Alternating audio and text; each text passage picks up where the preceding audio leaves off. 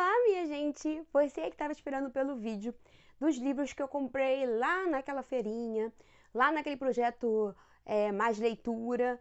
Hoje mesmo você vai ter um vídeo mostrando todos os livros que eu comprei na feirinha e vai ter um bônus. Como vocês aguardaram, vão ter os livros que eu comprei na feirinha do Calçadão de Campo Grande, os livros do projeto Mais Leitura, vão ter os livros que eu comprei na feirinha da, do Shopping Bangu também na livraria Leitura e mais algum? Acho que o livro que eu comprei na loja americana. É isso então, deixa eu começar o vídeo. Ah não, peraí. Deixa eu só acabar de fazer meu cafezinho aqui. A água começou a ferver e eu já volto. Trouxe aqui o meu cafezinho. Se vocês escutarem um barulhinho, gente, é porque hoje eu tenho uma companhiazinha aqui no escritório junto comigo, que é o meu astrinho, o meu cachorrinho.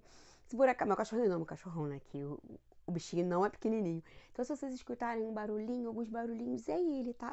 deixa eu dar uma olhada aqui na pilha que tá aqui do lado. Acho que vocês conseguem ver até alguns, então deixa eu esconder, porque tem que ser surpresa, né?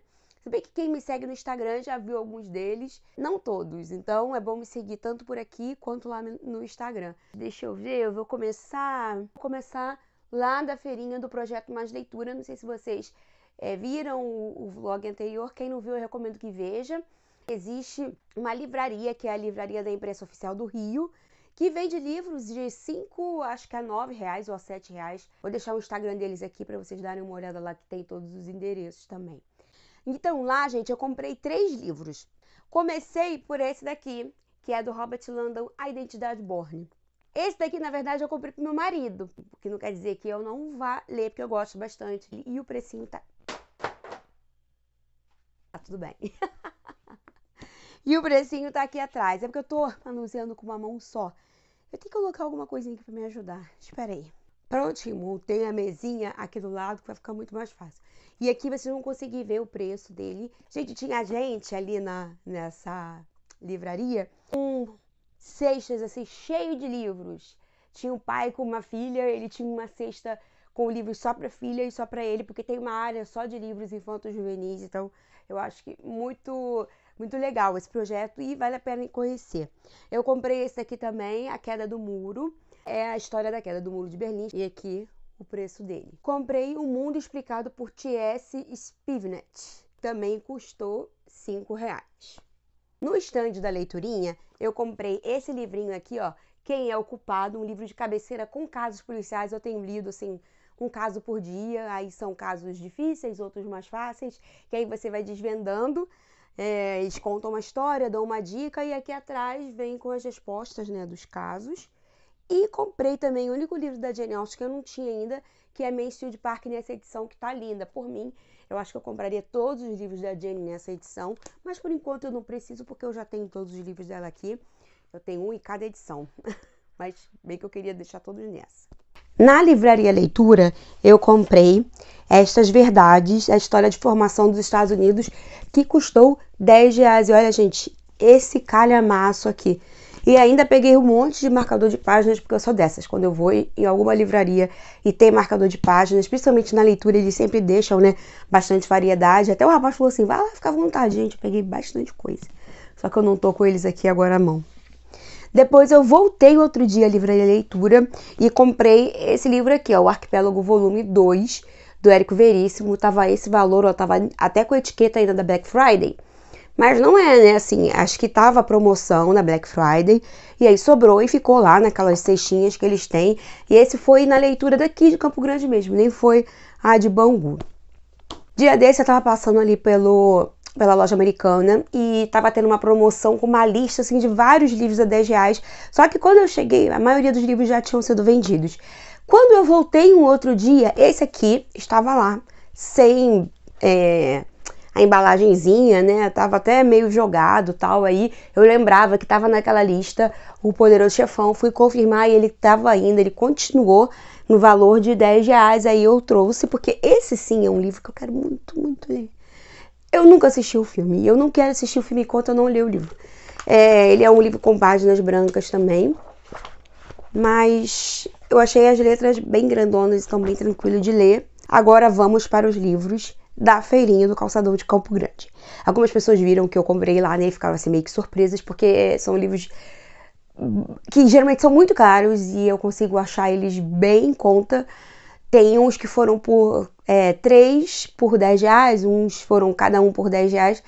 Esse, esse da, da parte assim, que é 3 por 10, você tem que fazer um garimpo bom para poder achar livros legais e que estejam em condições legais, que às vezes tem um livro bom, mas ele tá todo amassado, todo molhado, foi molhado em algum momento. Mas esse, essa parte dos livros de 10 reais, eu já até comprei livro para alguns amigos, assim, mandei porque eles viram qual era o livro que estava ali disponível e pediram livros que estão sendo vendidos caríssimos em sebo. E aí lá eu consigo encontrar, né, fazer um garimpo também, mas é muito mais fácil de conseguir achar livros bons. Todos estão em ótimas condições. Então vou mostrar primeiro o que eu comprei três por 10 reais. Esses três livros aqui. Começando por Cidade de Deus, do Paulo Lins, da Companhia das Letras. O livro ele tá bem, ele tá em boas condições, ó. Tá só um pouquinho amarelado, nada demais. Ele não tá nem amassado, nem nada. Tava bom, ok, ótimo. Encontrei o Outono do Patriarca, do Gabriel Garcia Marques, do Gabriel Garcia Marques. Vocês sabem que esse livro aqui, ele é tá caro, ele tá caro na, na Amazon. E às vezes ele até some, né, no estoque. E eu consegui comprar nessa edição. Essa é uma ediçãozinha bem antiga.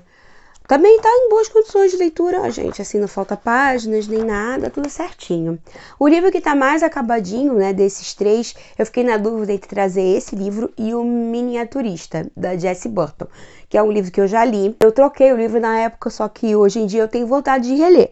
Só que eu falei, ah, pra comprar um livro que eu vou reler, que eu já li, eu vou comprar um que eu nunca li. Esse daqui, que é o A Moça do Vestido Azul, um romance sobre a vida e o casamento de Charles Dickens.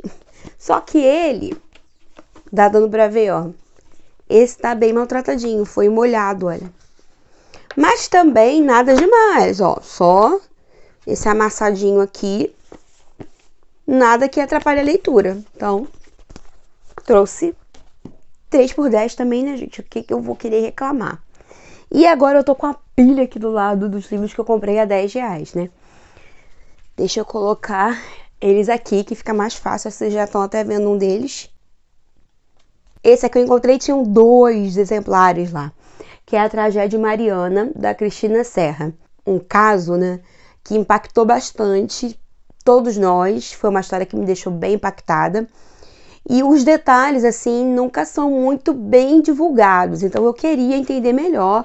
E acho que esse livro aqui vai ser bem válido para isso.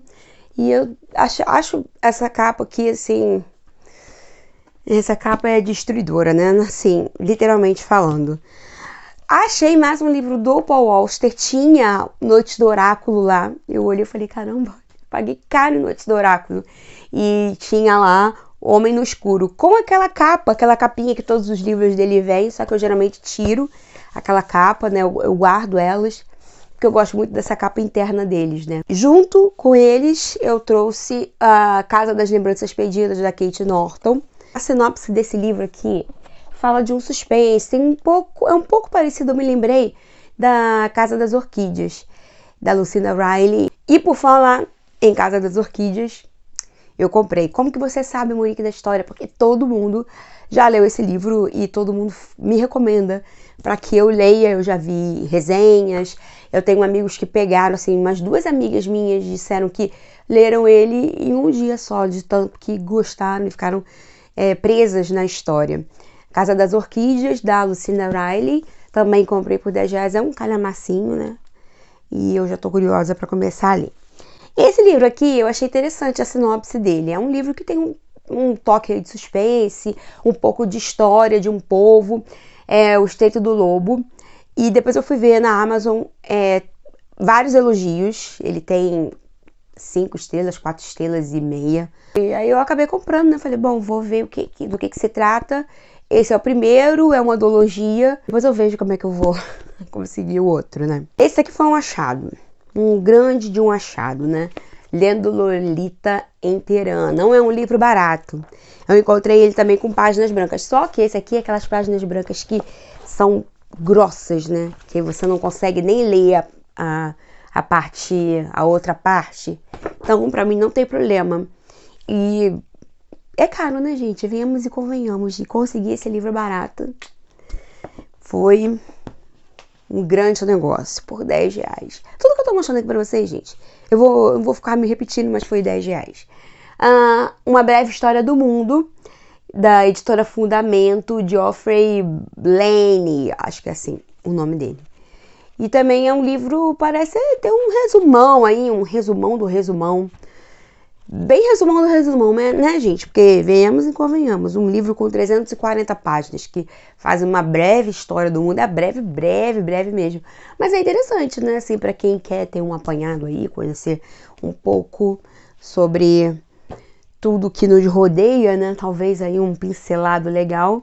E aí eu comprei ontem dois livros que estavam lá, que pertencem a uma trilogia. Tá, é uma trilogia, mas só tinha os dois. O rapaz falou que só chegaram os dois livros. Aí eu fui procurar na Amazon. E um deles estava 150 reais. Eu falei, não, tem que levar esse livro para casa. Porque uh, o, o, autor dele é prêmio Nobel de Literatura. E, e o que diz aqui na parte de trás é o que ele é um vento levou o polonês. E é esse daqui, ó, A Ferro e Fogo. Comprei logo o volume 1 e achei o volume 2 lá. Esse volume 2 que estava 150 reais na Amazon. Esse 1 eu nem achei. Aí eu trouxe. Será que o volume 3 foi publicado no Brasil, gente? Que às vezes a gente fica nessa, né? Você compra um livro que faz parte de uma, sei lá, trilogia, e aí a editora simplesmente decide não publicar o restante. E aí é maravilhoso quando isso acontece, né? Bom, gente, essa pilha, então, eu não vou nem tentar pegar, porque é muita coisa.